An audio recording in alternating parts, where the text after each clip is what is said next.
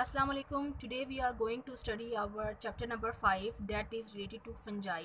यानी ये आपका जो चैप्टर है, वो है आपकी बुक के पेज नंबर 54 के ऊपर। इसमें हम डिस्कस करेंगे अबाउट द फंजाई के फंजाई क्या होते हैं, कितनी टाइप्स के होते हैं यूनिसेलुलर होते हैं या वो मल्टी सेलुलर होते हैं, वो खुराक कैसे हासिल करते हैं, किन जगहों पे रहते हैं, कितनी टाइप्स के होते हैं और फंजाई क्या आपकी ज़िंदगी के अंदर क्या क्या रोल है फंजाई को पढ़ने का बेसिक पर्पज़ क्या है। तो सबसे पहले फंजाई फंजाई को आप दूसरे अल्फाज में फंगस भी कहते हैं, जो कि डबल रोटी के ऊपर भी लगती है या आपके रोटी के ऊपर भी लगती है, बाकी खानों के ऊपर भी लगती है। सो so, फंगस क्या है? फंजाई जब आप रूलर बात करते हैं यानी जब आप जमा में बात करते हैं तो उसको आप फंजाई कहते हैं और जब आप सिंगल में बात करते हैं तो उसको आप फंगस कहते हैं। Fungi were previously were grouped as thallophytes. Thallophytes का मतलब होता है छोटे प्लांट, यानी पुराने वक्तों में फंजाई को जो है वो अलग ग्रुप में नहीं रखा जाता था, बल्कि फंजाई को उसी ग्रुप के अंदर रखा जाता था, जिस ग्रुप के अंदर प्लांट्स मौजूद हैं। ये जो आप ऊपर स्ट्रक्चर देख रहे हैं, ये फंजाई का एक फंजाई का स्ट्रक्चर है, ठीक है, मशरूम टाइप एक फंजाई है। तो पुराने वक्तों में क्या होता था कि फंजाई जो है उसको अलहदा किंगडम नहीं दिया हुआ था। आज फंजाई का एक अलहदा किंगडम है, डेट इज़ किंगडम फंजाई। सब उससे पहले, आज से कई साल पहले फंजाई जो थी, उनका कोई अलहदा किंगडम नहीं था, बल्कि वो प्लांट्स के साथ ही रखी हुई थी, क्योंकि देखने में पौधों की तरह की होती हैं, लिहाजा इनको प्लांट्स के साथ ही ग्रुप में रख दिया गया था।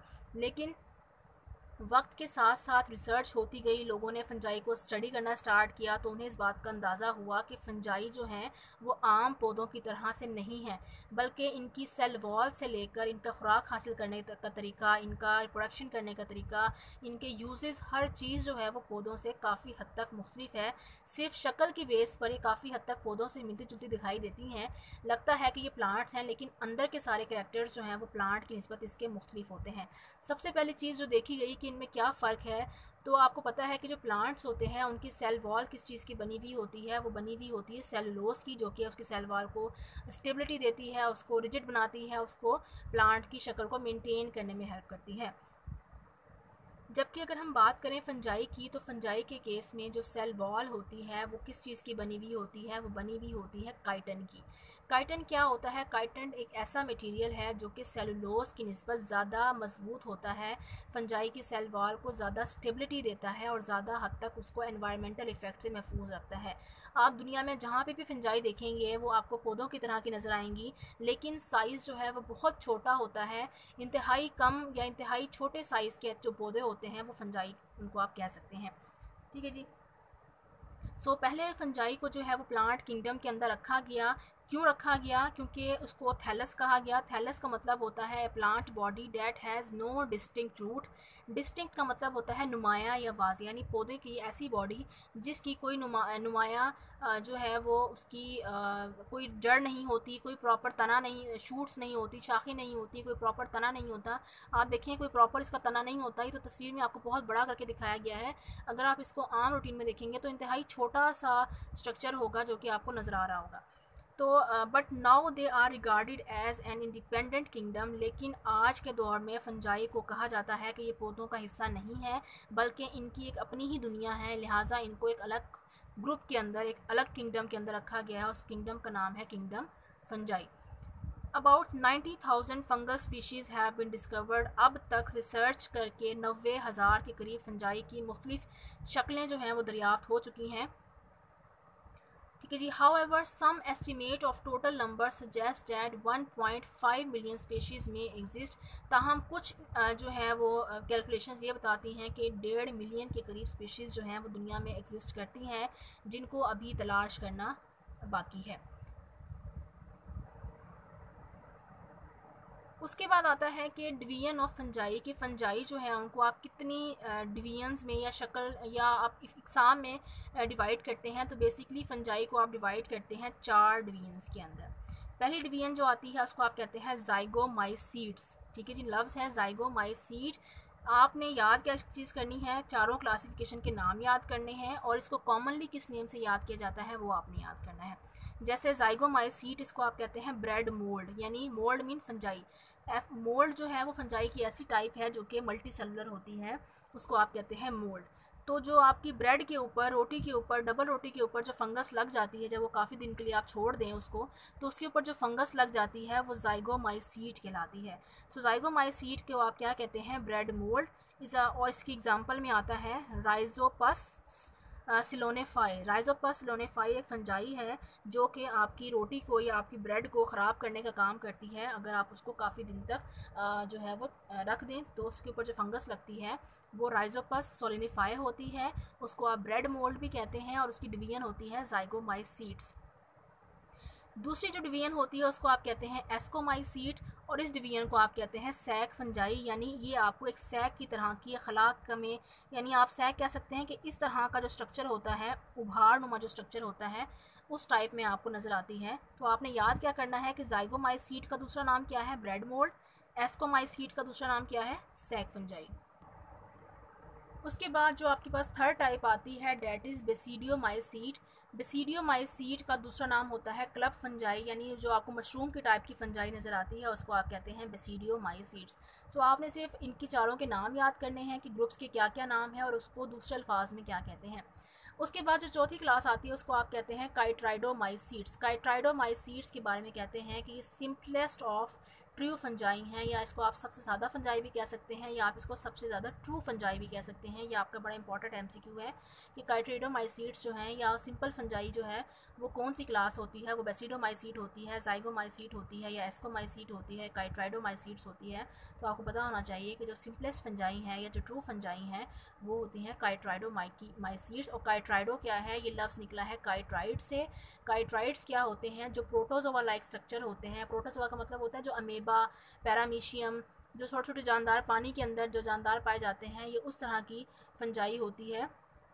और ये आपको यहाँ पे स्ट्रक्चर भी दिखाया गया है कि इस तरह से जो अमीबिया लाइक स्ट्रक्चर होता है, जो पानी के अंदर आपको तैरता हुआ नज़र आता है, उस टाइप की जो फंजाई होती है, इसको आप काइट्रोडोमाइसीट्स कहते हैं। सो आपने याद सिर्फ़ ये करना है कि इनके दूसरे नाम याद करने हैं और इनकी क्लासेस का जो है वो नाम याद करना है।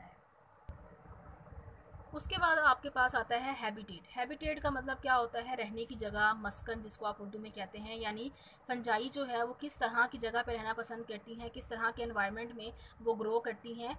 तो fungi are primarily terrestrial organism, यानी फंजाई जो हैं, वो टेरिस्ट्रियल होते हैं। टेरिस्ट्रियल क्या होते हैं? ऐसे जानदार जो कि मोस्टली डैम जगहों पे पाए जाते हैं। डैम का मतलब होता है जो थोड़ा सा नमी वाले इलाकों पे पाए जाते हैं, उनको आप कहते हैं टेरिस्ट्रियल ऑर्गेनिजम्स। फंजाई हमेशा जिस जगह पर थोड़ा बहुत पानी होता है, अगर आप रोटी भी रखें तो रोटी में भी फंगस तब लगती है जब उसमें नमी पैदा होती है। अगर आप ब्रेड रखें, ब्रेड में भी फंगस नमी की वजह से पैदा होती है। तो फंजाई नॉर्मली ग्रो करती हैं टेरिस्ट्रियल इन्वायरमेंट के अंदर।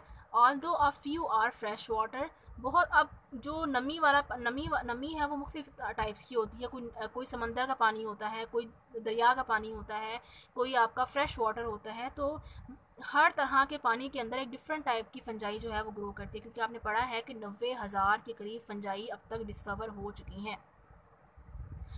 अगरचे a few are fresh water बहुत कम ऐसी होती हैं जो कि ताज़ा पानी के अंदर रहती हैं या समंदर के अंदर रहती हैं। Normally they are found in the moist damp places and decomposing organic matter normally कहाँ पाई जाती हैं? नमी वाले इलाकों में पाई जाती हैं और डिकम्पोज करती हैं ऑर्गेनिक मैटर को। ऑर्गेनिक मैटर का मतलब होता है जो जो भी आप कूड़ा करकट या जो भी आप चीज़ें खाने पीने की फेंक देते हैं, उन चीज़ों को डिकम्पोज करने का काम या तोड़ फोड़ करने का काम कौन करता है? वो आपकी फंजाई करती हैं। मैनी आर पैथोजेनिक बहुत सारी फंजाई ऐसी भी हैं जो कि आप में बीमारियाँ पैदा करती हैं आप में इन्फेक्शंस पैदा करती हैं। जैसा कि आपकी एक फंजाई है कैंडाइडा एल्बिकन्स कैंडाइडा एल्बिकन क्या करती है कि आपके हाथों की ये वाली जो जगह होती हैं, यहाँ पे इन्फेक्शन पैदा करती है, अंगूठे की साइड पे इन्फेक्शन पैदा करती है। इसी तरह से पाँव की जो साइड्स होती हैं या जो ये वाली साइड्स होती हैं, इन जगहों पर वो इन्फेक्शन पैदा नॉर्मली वो इस जगह पर इन्फेक्शन जो है वो पैदा करती हैं। उंगलियों के दरमियान में या अंगूठे और उंगली के दरमियान वाली साइड पर इन्फेक्शन पैदा करती हैं। मैनी आर पैथोजेनिक पैथोजेनिक का मतलब होता है बीमारी पैदा करने वाली। And infect plants and animals ये पौधे और जानवर और इंसान यहाँ पे आप एनिमल्स भी लिखेंगे साथ साथ आप यहाँ पे ह्यूमंस भी लिखेंगे कि ये इंसानों में भी नुकसान पहुँचाने का सबब बनती है। About three fourth of all vascular plants form association between their roots and fungi यानी मोस्टली जो वेस्कुलर प्लांट्स होते हैं, ऐसे प्लांट जिनके अंदर तना, जो प्रॉपर प्लांट्स होते हैं, बड़े प्लांट्स होते हैं, अक्सर प्लांट्स जो हैं वो फंजाई के साथ मिलकर ज़िंदगी गुजारते हैं। ये बहुत इंपॉर्टेंट चीज़ है और ये आपके कंपैरिजन के हवाले से बड़ी इंपॉर्टेंट है। एक लफ्ज़ है माइकोराइजा और दूसरा लफ्ज़ है लाइकन्स इन दोनों में बड़ा इंपॉर्टेंट फ़र्क है जो कि आपने याद रखना है। माइकोराइज़ा क्या होते हैं? माइकोराइज़ा का मतलब होता है कि ऐसी फंजाई जो कि प्लांट्स के साथ मिलकर रहती है उसको आप कहते हैं mycorrhiza the association between plants and fungi is called mycorrhiza उसके बाद आ जाता है लाइकन्स लाइकन्स क्या होता है? लाइकन्स में uh, आपकी फंजाई जो है वो या तो एलजी के साथ मिलकर रहती है या वो बैक्टीरिया के साथ मिलकर रहती है। बैक्टीरिया की एक ख़ास किस्म जिसको आप सियानो बैक्टीरिया कहते हैं साइनो बैक्टीरिया कहते हैं उसके साथ मिलकर रहती है। साइनो बैक्टीरिया यहाँ पर मैंने लिखा हुआ है कि ये ऐसे बैक्टीरिया होते हैं जो कि फोटोसिंथेटिक बैक्टीरिया होते हैं। ये अपनी सूरज की रोशनी में अपनी खुराक खुद तैयार करते हैं। ऑक्सीजन इनको ज़रूरी होती है। पानी इनको बहुत ज़्यादा ज़रूरी होता है। सो so, अगर फंजाई प्लांट के साथ मिलकर रहेगी तो उसको आप माइक्रोराइजा कहेंगे।